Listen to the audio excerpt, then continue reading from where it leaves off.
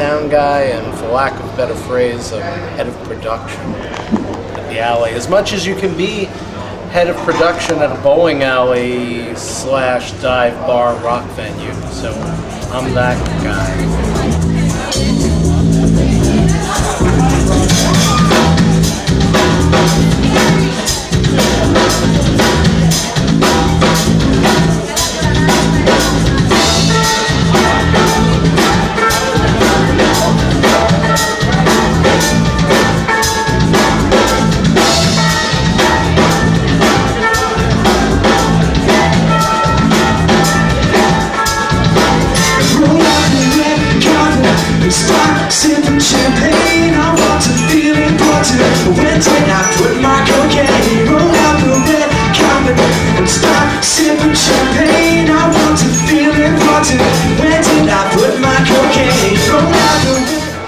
BJ and I'm a promoter and booking agent and I house book the Alley Bar.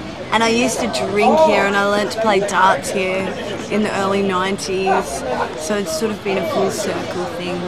I originally would never have found the Alley Bar unless my two best girlfriends when I was 18 got bar jobs here. And we moved out and bought a little, uh, like rented a little house up the street. And so it was sort of like staggering distance and a place where I got, I think, live music appreciation crash course.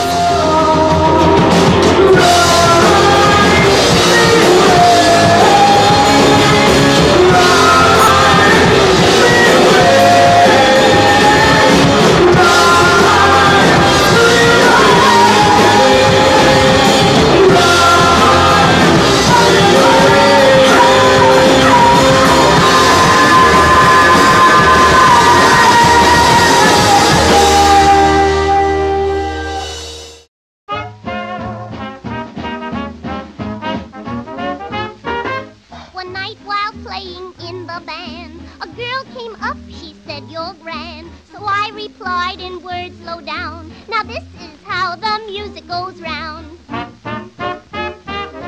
I blow through here, the music goes round and around, ho ho ho ho ho, and it comes up here. We have to go, was it Kedron? Kedron? Kedron. No, Kedron. We just enjoy our game every Wednesday, Norm and Sam. So he's the one that does the talk, see? He's the talker.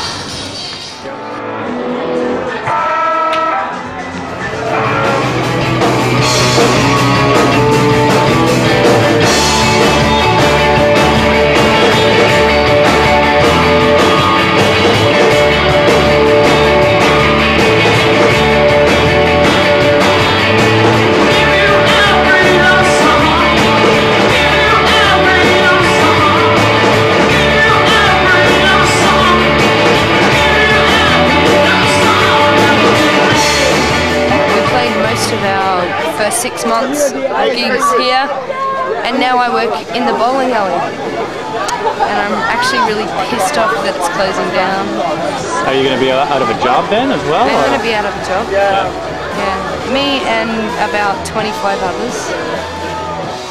I don't know, it's gonna be sad. It's a real, a moment in Brisbane history that's a real bittersweet moment. It's sweet to see everyone here these last few weekends, but it's bitter and terrible that it's going to be over. Yeah, it seems that Brisbane's just losing all its venues. Like, it's definitely not for a lack of bands. It's definitely not for a lack of support for Brisbane music. It just seems to be a lack of people who want funding. Fund it, yeah. It's just really shit. I'm gonna miss it. I have a feeling I'm not the only one. It's a great place to hang out. Has been. The, the other great thing about the alley bar is that every time we play here, it's as though we're playing a party in our own house. Isn't it? It really is. I wish it wasn't closing down. I really wish it wasn't closing down.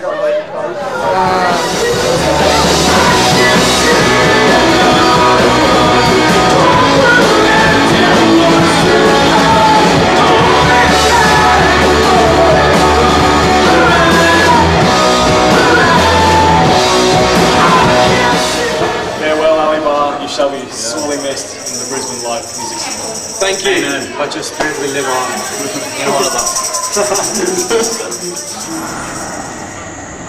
The best thing that's been said to me about the whole thing is Matt Nelson, who's a great artist, sent me an email saying, I heard they're auctioning off the stuff. I want to buy I want to buy every piece. I want to rebuild it. And I think that's a great idea.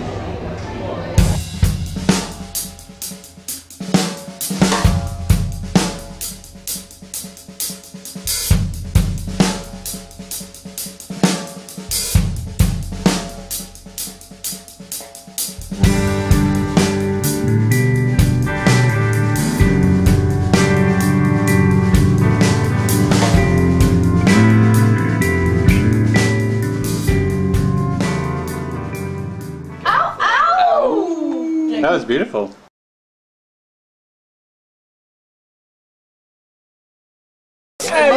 League champion at this alley here. Me and my girlfriend. And, um, at bowling, yes. Uh, which is why it's called the alley.